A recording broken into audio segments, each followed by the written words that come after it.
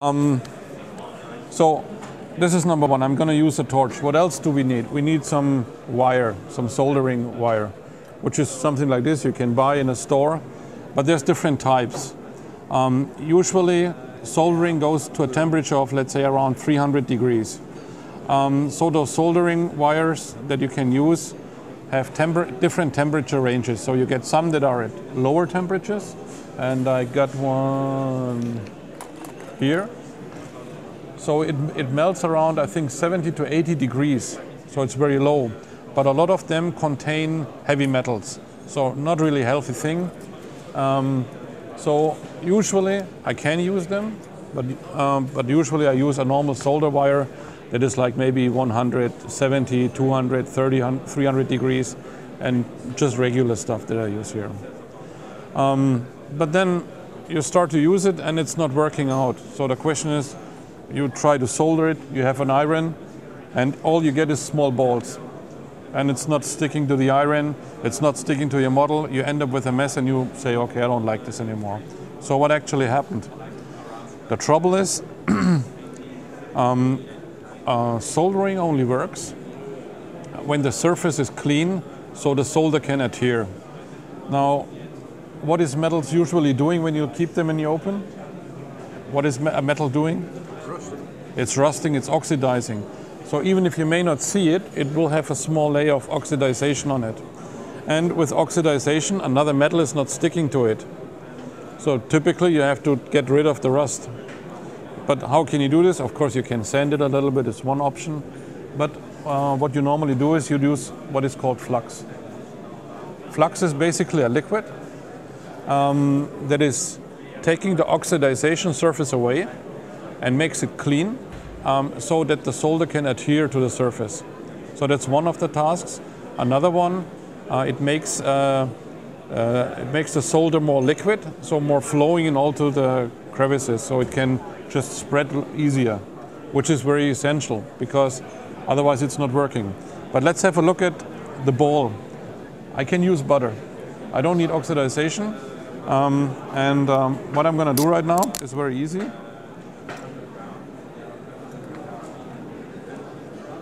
I dip a little bit of this thing here into the butter and maybe smear it a little bit. Okay?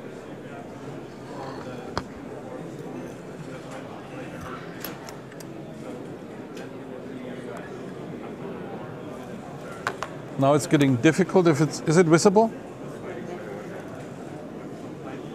Can you see what I'm doing here?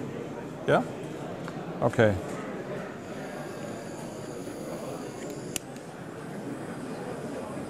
Did you see it? I have right now a small ball on here. Maybe it's visible to some. You see the small ball in front? a small ball of the so this means the surface does not take the, the liquid, the, the, the solder, so it's going to form a ball with, which is energetically a good form to keep the energy. This is why we get balls. Of course, for you modelers, it may be cool because if you need small balls that are perfect, you can do it just like this and you can use them maybe on a, on a, as a button or whatever and glue them on so you can make small balls. But for us, if you want to stick metals together, it's not an option. So we need to clean the surface. And this is what the flux is doing for us. I mean, it would probably, it could take the butter away in a way because it's making it more liquid. So it, it is helpful. But normally I would rather tend to wash it off with some detergent to first clean the metal, maybe sand it a little bit, and then finally use a flux. But just to show this right now,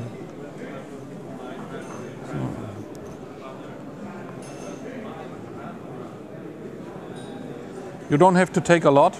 If I take a lot, um, then if I put a lot of heat to it, it starts sometimes to evaporate and the solder is just jumping off because it's like a small explosion.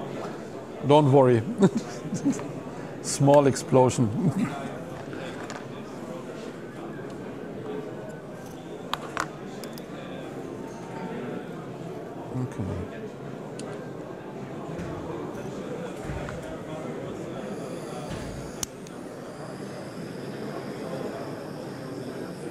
Okay, no ball anymore. instead you see something, you see a silver color. Silver color, if it's shiny like silver, is always good because this means you get a good soldering connection. Um, there's also bad soldering connections. You see that I'm doing something right now uh, that maybe people tend to do different. Um, if you use a soldering iron, then sometimes people think I just have to dip the soldering iron into the solder. And then at this moment the solder melts, which is fine. But the problem is the connection is only getting good if the material is hot enough to do the attachment. Otherwise you get what is called a cold soldering. The solder is hot enough to melt, but it's not attaching to the metal. So in best, you get a connection as if you would use super glue, which means a slight turn and it's off again. Okay, so this means um, in order to get a good soldering, the larger part, which basically is the, the thing you want to solder together, has to get the right temperature. And the temperature of this part lets then uh, heats then up the flux and heats then up the solder and lets it melt. So I'm not melting the solder, I'm uh, heating up the part to melt the solder. And this way we have something that is, that is correct. Um, the effect about the butter and the oxidization you also get with a soldering iron sometimes.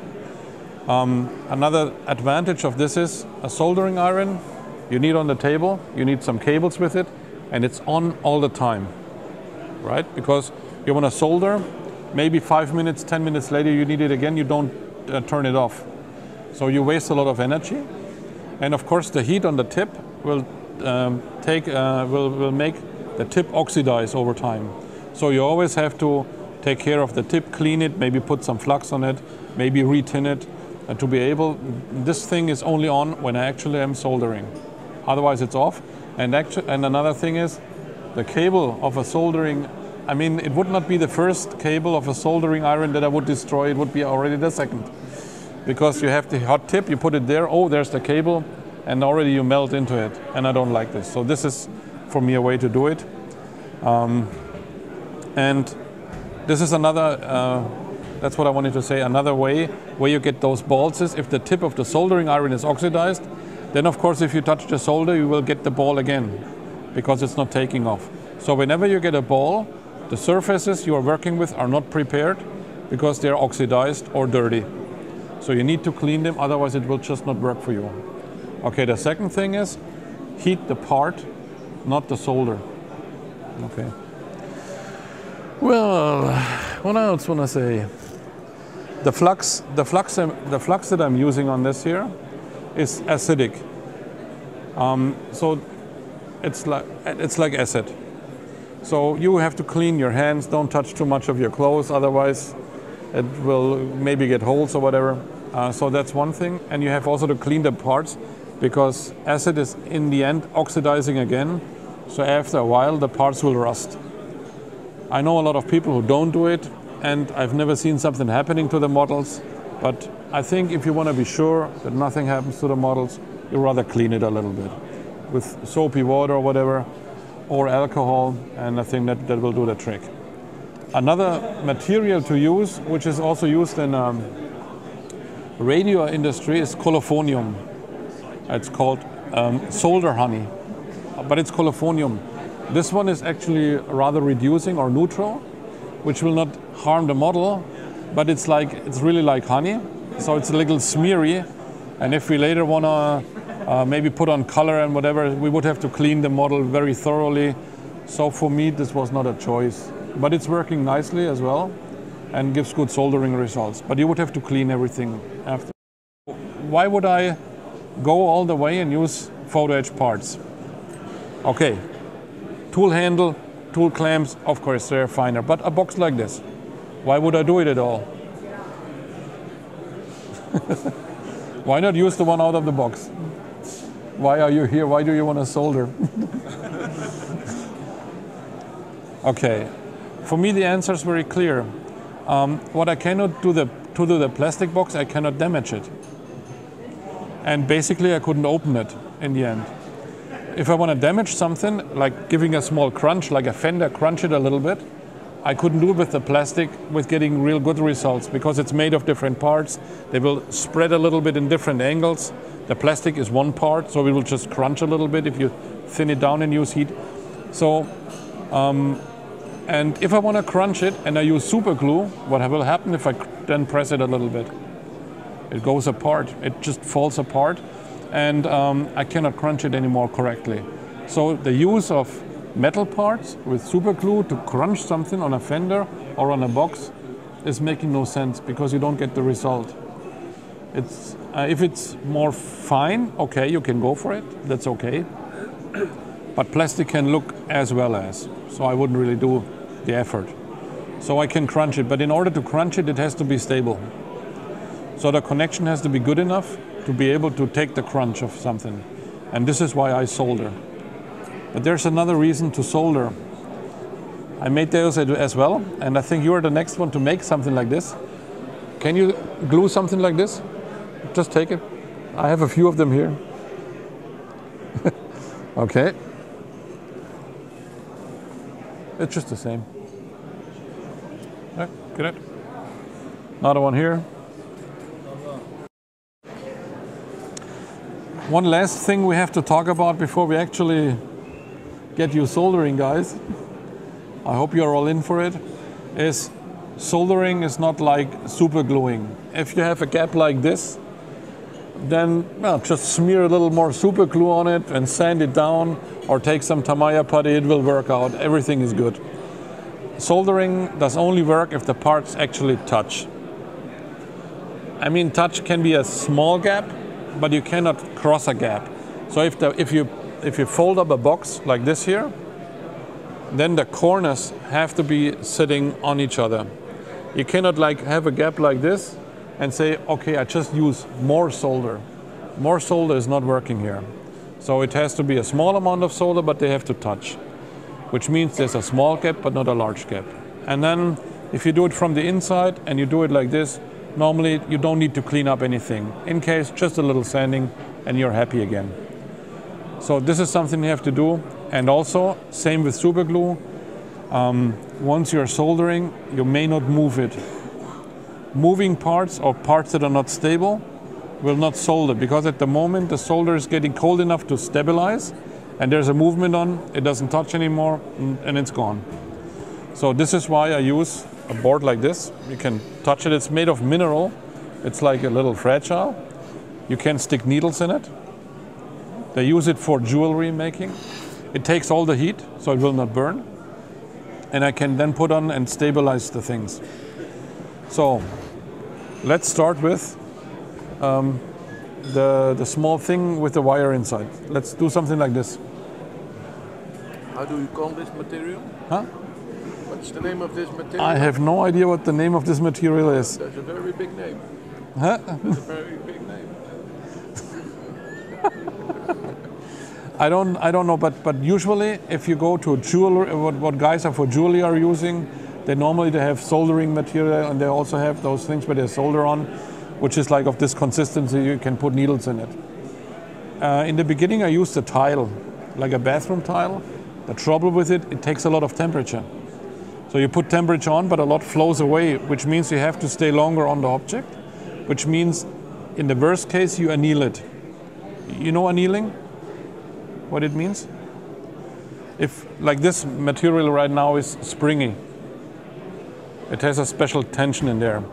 If I heat it up and, and let it glow,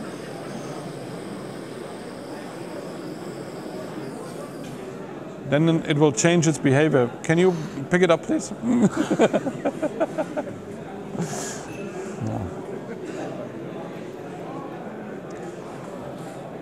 Wait a second.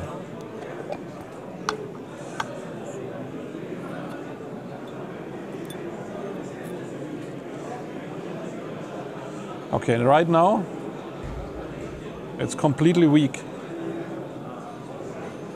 Um, for example, normally you press those lines in there into the box, and I like the springiness, so I don't anneal it. Because once it's annealed, it is behaving like paper almost, um, but you never get it back into the real shape. Just let's do something like this for a start, right? okay, I'm the first one to do it. Um, I'll grab this here. I forgot my drill, so I'm gonna do it like this. I take the knife and, well, maybe, um, yep, here we go.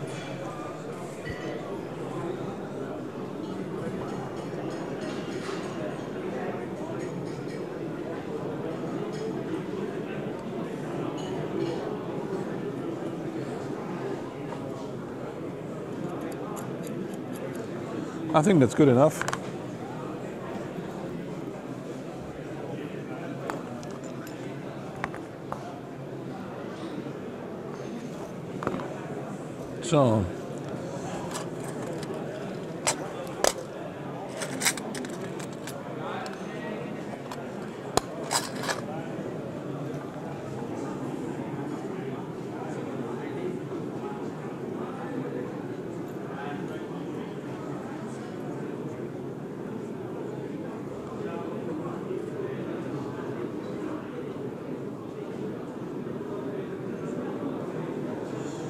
Okay, I just use this here to keep it stable right now. So I don't have to hold it and touch it and nothing will move. Of course, usually if I have a drill, I will drill it through, stick it in, and it's more stable in the end because then the soldering will be in the object itself. Right now it's only on the top, which is a little sad, but it's still okay. So.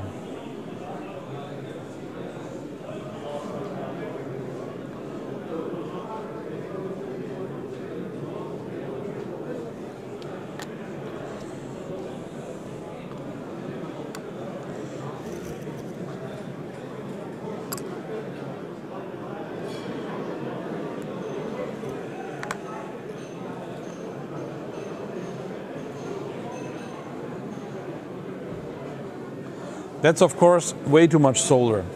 Usually I slice them like almost like a salami, very thin. But then I think nobody would be able to see it anymore.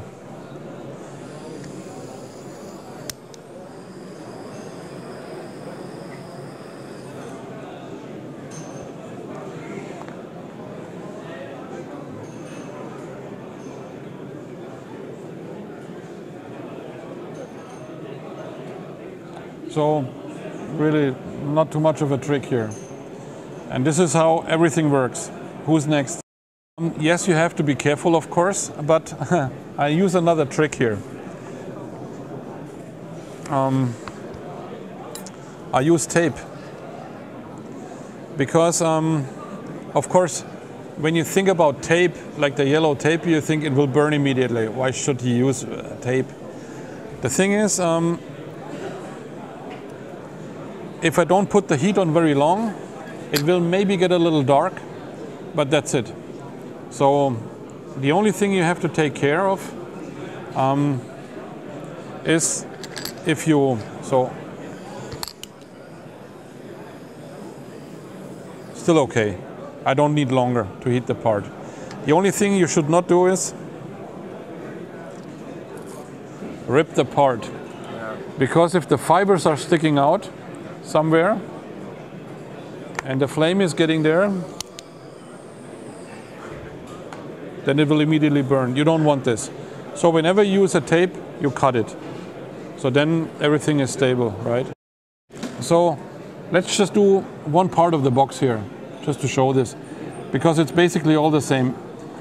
What I did before is I pressed it together so it has a nice fit. If it wouldn't have a nice fit, I would maybe take needles or clamps or whatever I have to make a nice fit. But in this case, I did it already, and this is necessary. So then I put it in a way so I'm happy. Like right now, I can have it sitting like this, and the, the line I'm going to solder is down there, so it's not a worry. But the, the suction also works against gravity because of the flux, so it will even suck it a little up. But okay, so next thing is, oh, about the flux, um, there's different kinds of flux, I told you. This one is not available here yet, but I used any kind. I, I got to the, um, I think it was a Belgian Media Markt, no, not Media Markt, uh, Obi or some kind of a store like this. And there was a blue bottle with flux. Excuse me, it was a little more sticky and I didn't really like it because I like it more fluent, but I worked with it and it works nicely as well. So, so I make, can you see something here? No, maybe not. I make a small line of flux here. Maybe not so much. Otherwise, as I said, the solder will then jump off. You will laugh and I look stupid.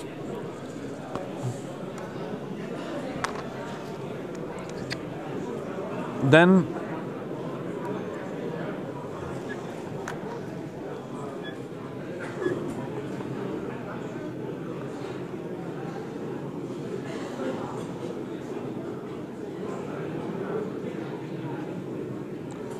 Okay.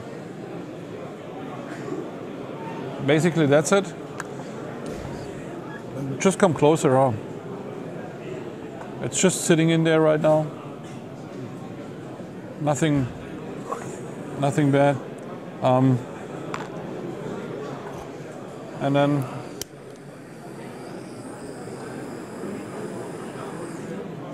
have a look again, please.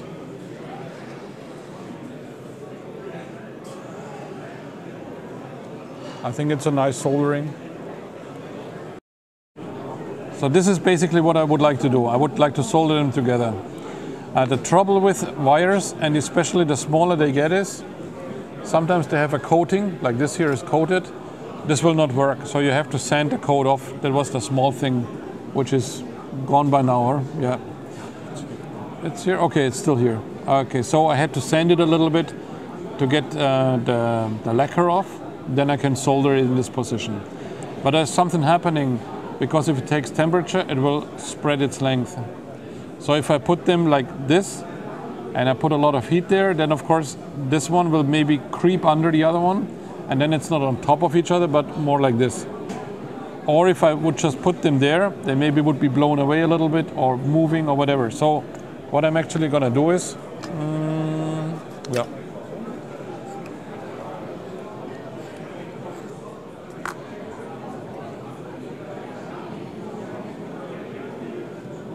No. You don't use blue for it? I don't use Blu Tack because if Blu Tack gets too hot, it starts to melt and smell very bad. And I'm not sure if this is very healthy. Okay. And uh, I've seen this also that some people put like metal parts on the Blu Tack and then solder it there. Um, with a soldering iron, I guess you make it away. With the flame of the heat, it will just melt and you will get in a sticky mess, which you don't want to have. And Blu Tack wasn't really made to do this job. But I have this paper here and I'm very happy with it. It's getting sticky as well, but it's okay. So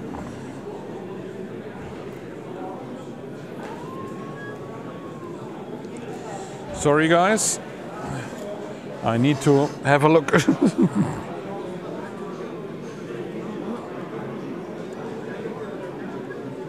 Uh, not working.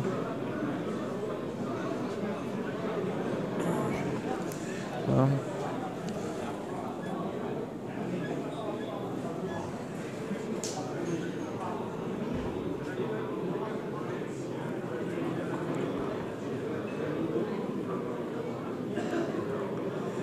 Okay.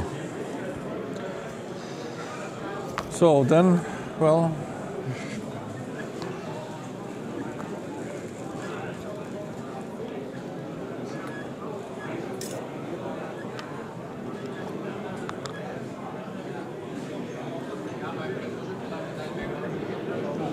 Yeah.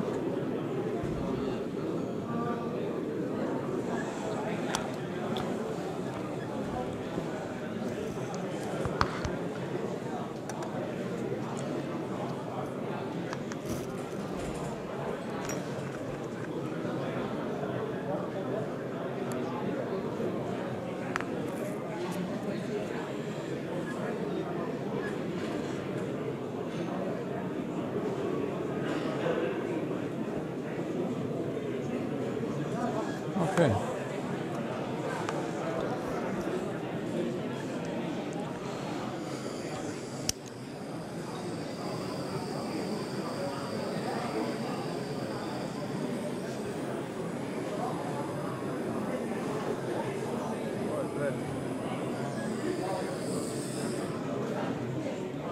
Actually, I didn't really see too much because it's too far away. I think it's not a nice connection. But it's of course there. So I'm not happy with the shine of it, but it's connected, so just give it a test. It's not hot anymore.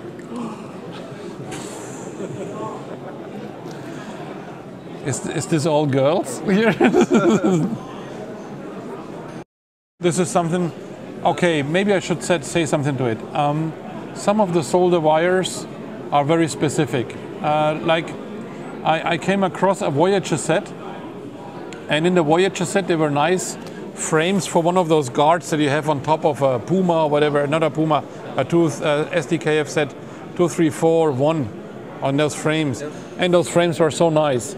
And um, a guy, Steph, Steph Snyers, soldering with Yarin, he said, I'll show you. And it didn't work at all until I finally found out it is uh, stainless steel.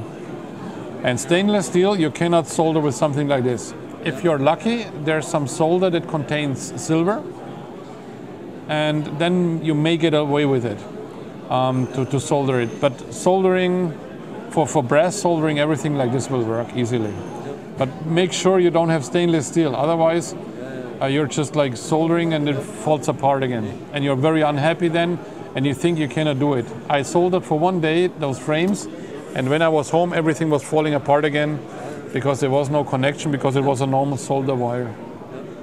So that was very bad. But um, ah, something else you may want to use in case something goes wrong you have a, a soldering and it goes wrong and it's not working at all, then you basically have to clean the part. Yeah. You cannot go on top of it and on top of it, it will just be a mess. So better try to make it really nice in the beginning. Take your time, set it up, clean the parts, use a, um, a, a, a medium amount of flux, not too much, because it will burn as well. Um, and take your time until everything is settled and you're happy with the part before you put on the, the heat. And, and everything is fine. Sometimes you can find in stores things like this. It is like a, a wire um, made of um, fibers. And if you heat solder, it will suck in some of the solder. But there's also some vacuum things to suck up solder to, to yeah, exactly. You can find them in a, in a, in a store where they have electronic uh, stuff. Because if there's too much solder on there, you, you can only sand it down, file it away, um, everything else will fail. But this is why if I'm soldering, of course I try to solder from a side that is not visible. Because if I make a mess here, who's gonna know? And in case you use very small amounts of solder, as I usually do, you saw me today using a lot, because usually I use a lot less. Um, it's still going to be stable and it's not going to be visible because it's creeping completely into the corner and you're, you're good to go. So, any more questions? If you Sure. have to solder, for example, this long, long, Yes. uh, long length, do you use that length of solder material as well, or just two or three very small? I- In this, ca- in this case, it's actually two corners only. Ah, okay. But let's say I have a longer part. Yeah. Then I would decide, I would try, of course, to go in one go. But maybe if the part is, part is very, okay, when I, no, the reason why I would not solder is because the part is not hot enough. So if I start maybe in the middle, then maybe the heat is spreading to both sides and I'm happy. I wouldn't then start on one side, I would start in the middle. Um, and in case it's not going this way, then I would solder as far as it goes. Then clean the part, put something there like a wet uh, towel, not towel, a wet, uh, wet part or some clamps um, to keep it closed. So if I put heat there again, it will not open up. And then I would solder the rest. So that's how I would do it. So when you have a, a length like this, it's only necessary maybe to solder the, the Um, if you know that there's like the backside here, the backside here would be a long way if I sold it complete. But I think what did they do in reality? they would probably put it there, then one, two, three spots. That's it. So what I would do is, I would maybe, that what he said, I would maybe pre-tin here, three spots. Then do the same here, pre-tin it. Then I would put it together, put some flux into the crevices, heat it up, and it should be go- good. And and even if only two are sticking, Yeah. it's gonna stick on. There's nothing done, it's just folded. I think one of the essential things is the folding itself. And I still struggle with it sometimes because the folding has to be really nice because then you only, only then you get nice corners and everything is good. Okay. If there's any more questions, right now it's time to ask. I think I showed everything. I know everything that I know